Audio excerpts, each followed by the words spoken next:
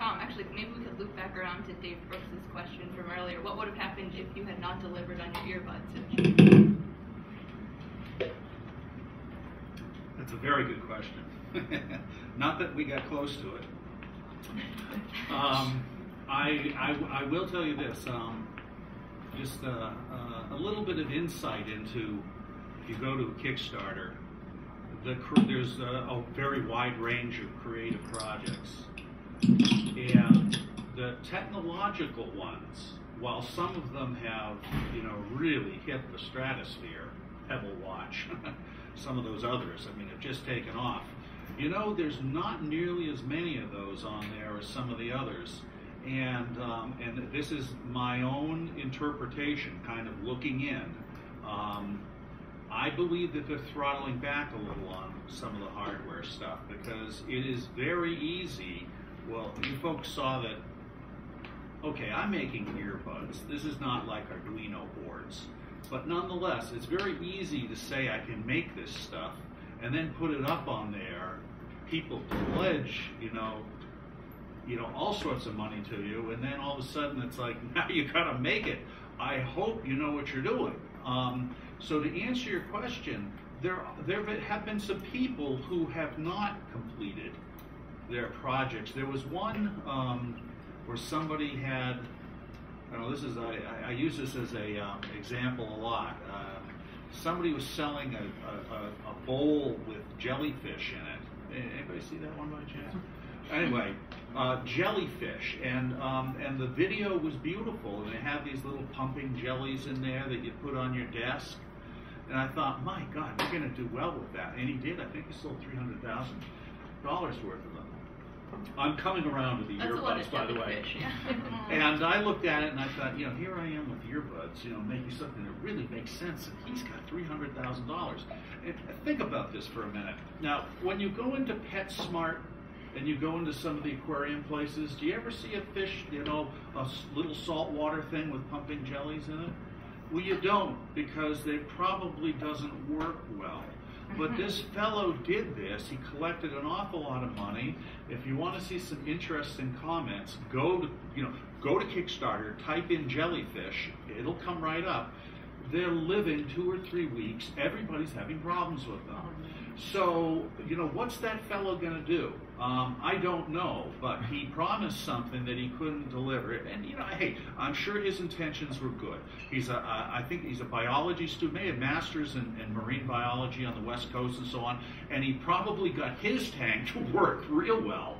But all the others, by the way, these things are three to four hundred bucks. Oh yeah. Um, so okay, back to Iron Buds. So what's he gonna do? I don't know. But with the iron buds, yeah, we ran into a lot of snags. As a matter of fact, if you want to know a little bit, believe it or not, this connector between the earbud itself and this right here, I mean, um, you know, anybody's in the technical sciences is, you know, there's there's a hundred thousand of these things, right? I mean, there's there's catalogs just filled with little connectors.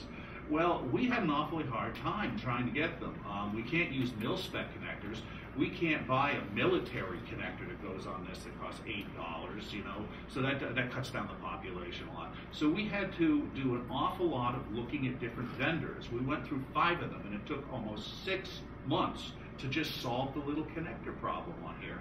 So was I ever worried we weren't going to pull it off? No, but boy, some of my some of my clients were um, because it was taking so long. Well, what would happen if we didn't pull it off? Um, well, I certainly thought that through, and you know, this is something everybody should know.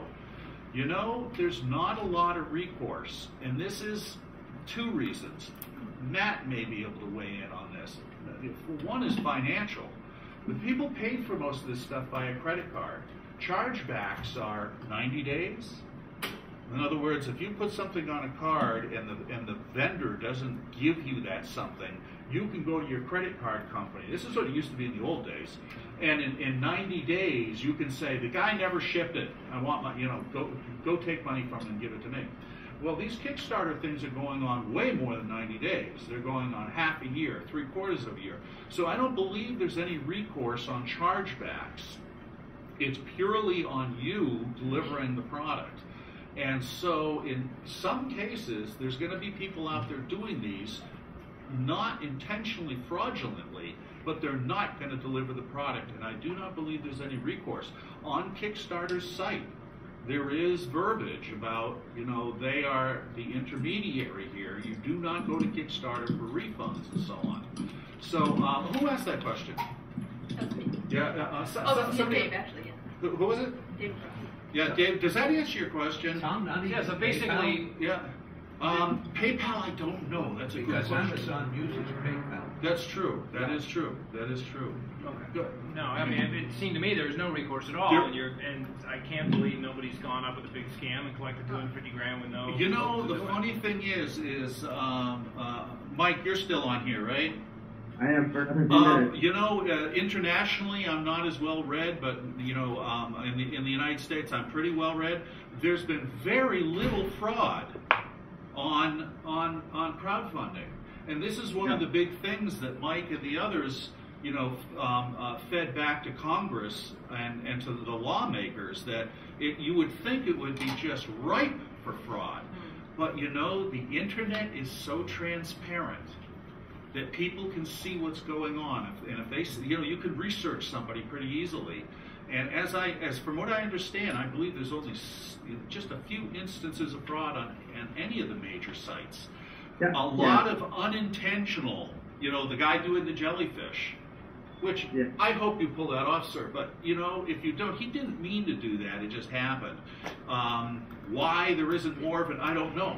Did, Mike, did you want I to mean, weigh I in? that we, we heard about it a little bit earlier, which is when you have thousands of eyeballs looking at a profile, I mean, this is why crowdsourcing works. That someone among those thousands of people is going to say this looks fishy, or I actually know something specific about this person or about this industry, and this doesn't make any sense.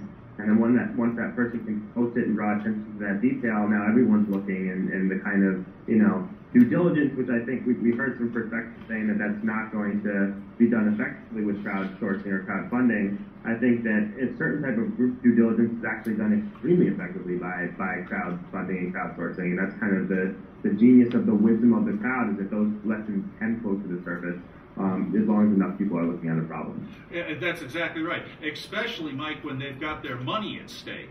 Where you've got people that are, you know, interested in investing in this, and you've got several thousand of them. Oh, you've got a lot of real good research going on there.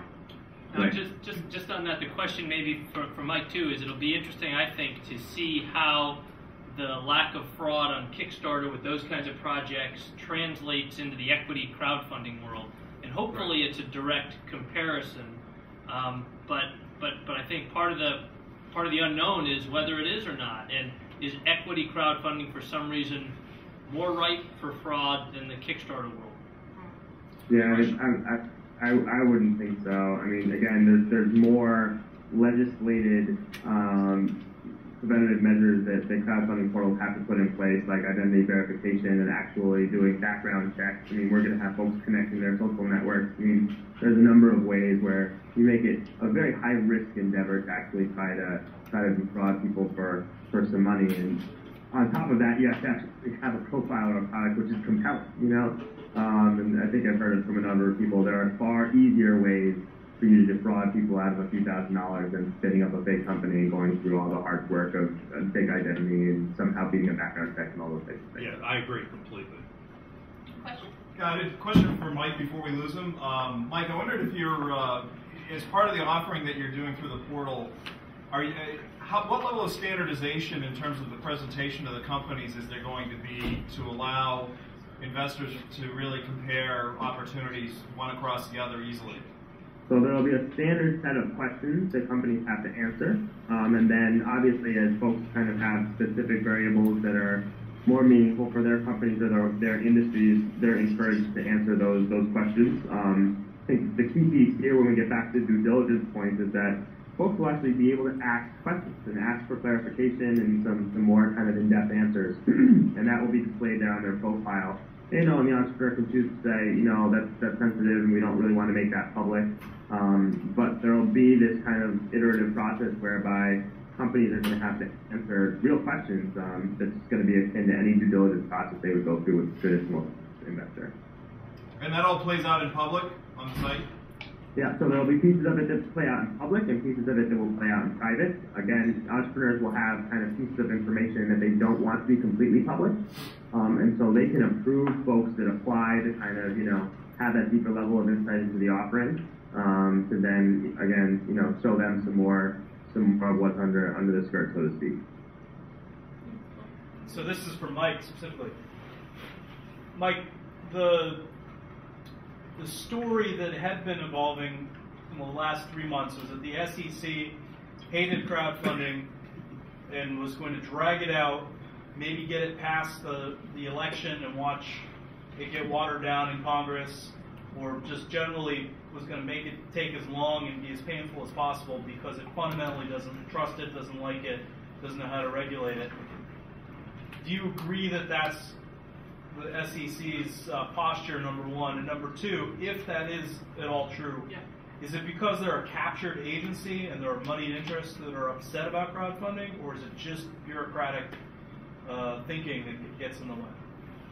Yeah, so I think there, there, there was definitely a lot of fear of that uh, right after the, the legislation passing, and I know we had some of that ourselves. but I can tell you, after after being with them for an entire day a week ago on Friday, it really could not be farther from the truth. Um, they're, you know, completely understand the, the, the job creation and economic impact of, of crowdfunding. I mean, they, they every every uh, rule that goes to the SEC now goes through an economic analysis, and they, they see what this can mean for the country. So we're not at all concerned that they are kind of doing some underhanded way of, of, of blocking it and, and preventing it from, from taking place. Um, and I, I, I don't really get concerned at all about them being a, a moneyed interest um, in, in that way either. They're, they're even actually relatively uh, insulated from, from Congress at this point, for better or for worse. Um, if something is not in the letter of record or in the legislation itself, they definitely take advisement um, from what the, the elected officials have to say but apparently there's no legal mandate for them to act on, on um, comments or opinions that are made after the fact that were not caused by the process. So, so Mike, just a question for you from the entrepreneur's standpoint. So, we talked about crowdfunding and how it can help raise equity, but I think no matter what, when you're talking to investors, whether they be certified or not, there's the value that that person brings because obviously they bring things to the table. And when you get an accredited investor, obviously there's some thoughts that they have more of that value. When you get mm-hmm. people that are in a crowdfunding platform, where is the check and balance for the entrepreneur to say, you know, I'm not really sure if I want you on my cap table because of your experience and what you have there, not just thinking of it solely that I need the capital to be able to do that. Because I think that still needs to come into play, no matter, you know, if it's a certified investor or not. How does your platform allow the entrepreneur to look at that? I think, I think that's a great point. So what's different about our platform is that there's not just a invest button and then you put the money in and, and um, get your, your product or, or in this case it would be shares. You have to actually apply to invest and then you're approved by the entrepreneur.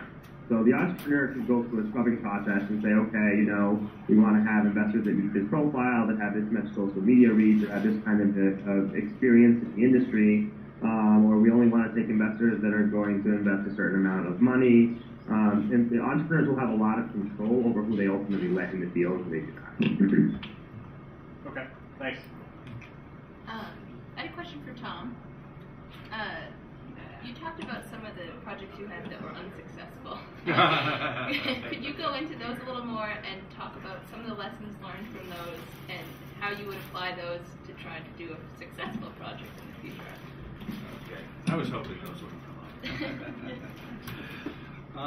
um, yeah, um, I, and, and I can tell you what I learned from them too. Um, let's see, there were so many of them. No, no. Um, I'm trying to think of a good example. Did the Star Wars watch this tip? Uh, they did. They did. Uh, by the way, I had a, a watch project myself, but I, there's one of them right there. I, I didn't do an electronic watch. The guys that hit 300, 400,000. I, I, I sold an awful lot less than that, but mine mine was a, a, a, a collectible kind of watch. Um, okay, here's here's one that I tried out, and uh, you know I'd love to get feedback on this because it never went anywhere. This was about a year and a half ago before I learned a lot more about crowdfunding than I know now. Um, I think if there's anything you want to take from, from this about the, the standard reward-based crowdfunding, and, and someone over here was speaking to this also, if you do a project and you don't promote it, you're just not going to pull any money into it. I don't know how many projects are on Kickstarter right now, but I think I saw something like 50 or 60,000. So it's this sea, it's just this sea of projects on Kickstarter, and Kickstarter is only one of them. You know, there's all these other sites. People do not go to Kickstarter. Hey, I'm going to go to Kickstarter today because I have money in my pocket that I want to burn. That's not who's on Kickstarter. There- oh, there's a little bit of that. You know, people, hey, what's hot, what's new, you know, that kind of stuff. Um, but for the most part, um, the guys that did the wristwatches that just hit the stratosphere, um, I don't know if we took the, the first one that hit almost a million was this thing called the TikTok watch. The TikTok watch was basically a band that you put an iPod Nano into. Okay, iPod. This is the iPod Nano is just released. He came up with a band so you can put it on your wrist, and he sold close to a million dollars worth of that. How did he sell a band that you put an iPod Nano into and make almost a million? Because the Apple people, the Apple loyal, you know, stumbled upon it. It went viral. It went everywhere, and there's an awful lot of loyal Mac fans and uh, you know Apple fans that said this is outrageously cool. They came flooding back into Kickstarter, and the thing just took off from there. So, back to my project. Um, I had an idea for a kind of computer mouse that you could design and customize yourself. Um, a computer mouse, it's a, you know, it's a utility kind of device. Um, it has the, the electronics in it are kind of well, you know, established. You can get um, computer mice from probably a thousand different companies in China. We were going to make a mouse that you made your own body for it, and we, and this is a design project, perfect Kickstarter project, perfect. Um, you could put your own body on. It was basically a platform with mouse, you know, innards in it. It was an infrared, you know, mouse, and you made your own body. For instance, you could put a hockey puck on it. We thought, now that's not going to engage hockey enthusiasts to have a, you know, this is the kind of thing that, is this going to be the mouse you use all day long for doing CAD drawing? No. But it's like, what a cute gift for $25. It's got a mouse, it's a, you know, mouse body that has the Stanley Cup winner on it. And we designed it so you could put on a whole multiplicity. We had different bodies of stones and rocks and coral and stuff like that. We thought that would do super.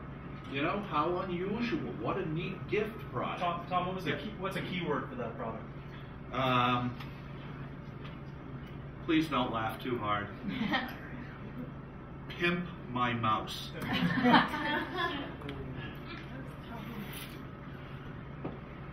assume the page is still up. Uh, The, the page is still up, but you know, some of the.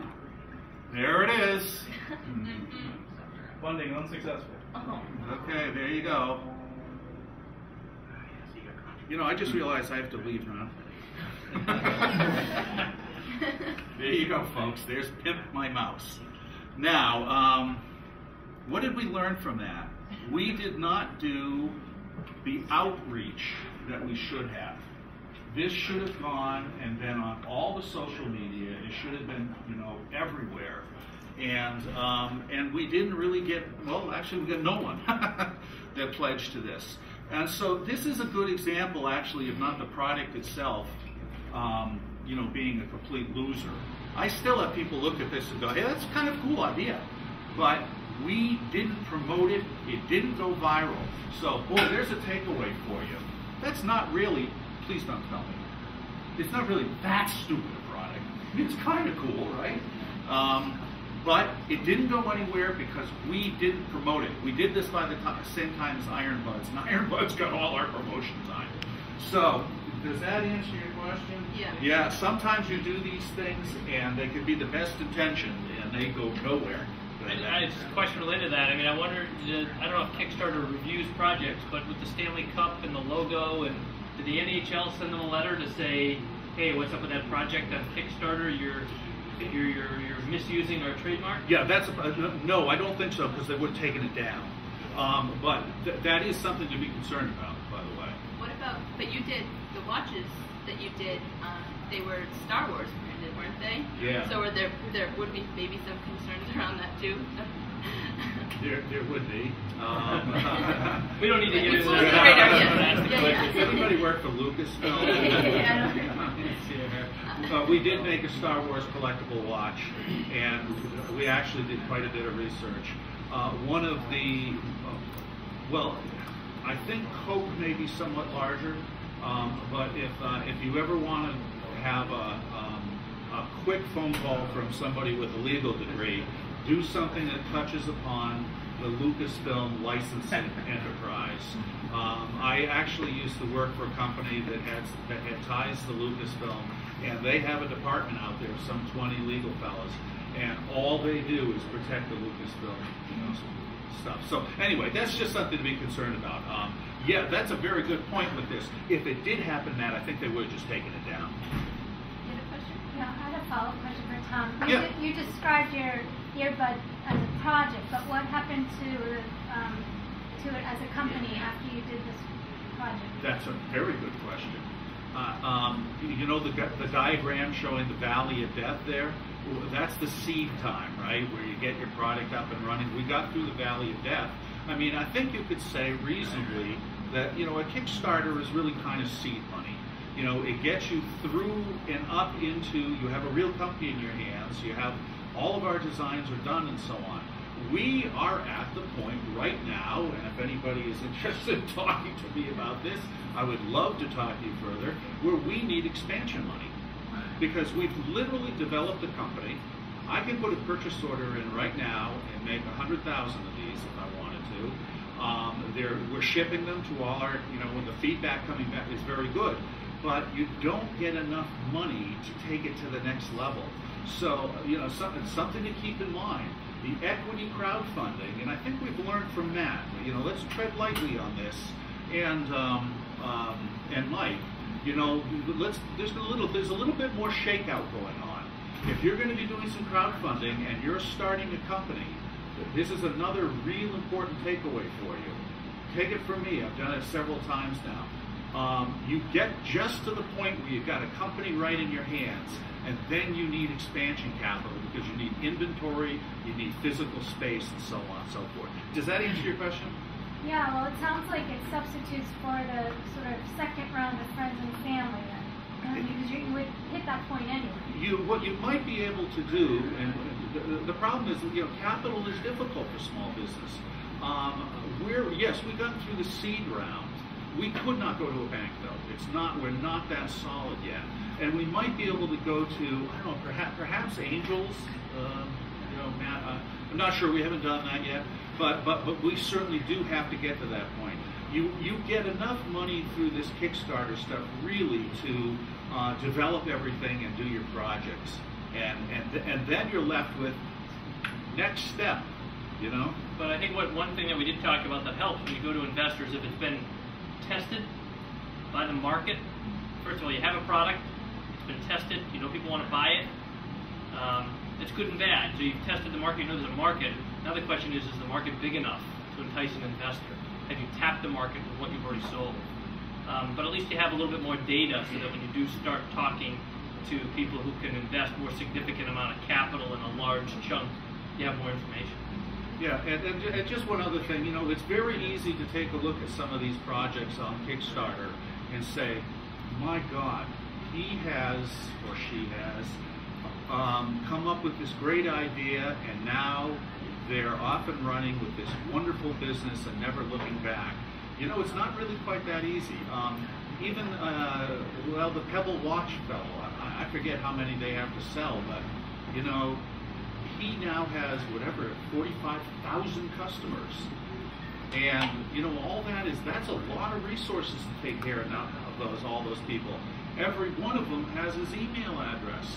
Every single little issue is going to come in. That fellow, the first thing he's going to have to do is hire a fairly substantial staff. And uh, so it's, it's very easy to look at this and say, my God, instant wealth. No, no, not really. It's kind of the first phase. Even if you raise over a million dollars, it's really the first phase. And, and you have to start thinking like an entrepreneur and start looking at where your expansion money is coming from. Yeah. This means I have a question for Yeah, go ahead.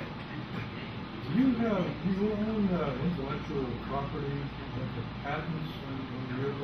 No. How do you protect yourself against somebody in China just bringing your clock? You, you really can't.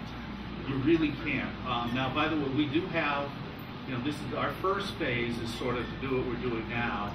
Um, I have some experience with IP, um, uh, several patents, and I, I, I can tell you that I'm a little bit, you know, patents are wonderful um, if it's something that, you know, everybody understand what a patent does.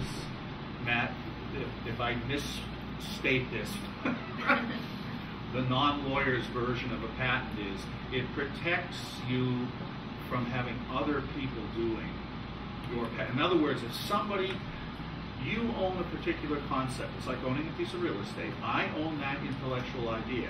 That doesn't mean you're granted the right or anything like that. It means that you can go to somebody else that's doing the same thing and say, stop doing that. But that process is not easy. You can send letters, they can ignore you. Their lawyers can get in touch with your lawyers, and in many cases, just nothing happens unless there's huge stakes involved. So I have to tell you, the IP stuff, and, and uh, you know, is is really kind of a level up from what I'm doing with the For a small organization, just so expensive. Oh, it's I, I've been through this. Um, my what what I'm going to do with the Iron Buds is we are looking at a couple of unique IP things because uh, yeah, I'm an engineer. I like IP, but but for the most part, we're building a brand. We want to build this brand as quickly as possible, and and that's where our equity is. But, but building a brand is IP, right? So when Yeah. you say IP, it's not just the patent. You know, my typical advice to clients is look at your whole look look at your product or your idea or your system or your service, and you got to give it a holistic IP review and figure out which pieces of IP are most important and which are most protectable and which are most cost effective, right? And from there you can make a decision. But it's very tough, no matter whether it's a Kickstarter project or not, to fund protecting the IP with patents in particular because they're expensive. But even building a brand is going to be expensive. You know, getting the word out that Iron Buds is different than the, you know, off-the-shelf Chinese no-name brand. They look the same, maybe from the same factory. Why is the brand better? What if you already have the patent or patent pending? That's what I know. Well, then you have the same issue that was just mentioned, which is you, now you still have to go enforce it. Uh, you know, so you can send nasty letters, have a lawyer send Right. nasty letters, but at the end of the day, if they ignore you, you've got to bring a lawsuit. That's my the nature of the beast. still, I guess I gotta go partner with a big guy. Yeah, I don't see any other way. that could be. I, I thought I might hear a way today, but I think probably not. It depends who's infringing. I mean, if it's a real company that's infringing and they don't want to step, you know, on the wrong side of the law, sometimes they will back off just because they know they're doing something that technically is illegal. Um, I think sometimes sometimes they will, sometimes they'll, they, uh, with a gorilla in the room, we don't care. Or, or more frequently, I think it's somebody who's not a big company, but maybe are buying the same product from the same factory and just putting no brand on it or a different brand on it and selling it for 25% less.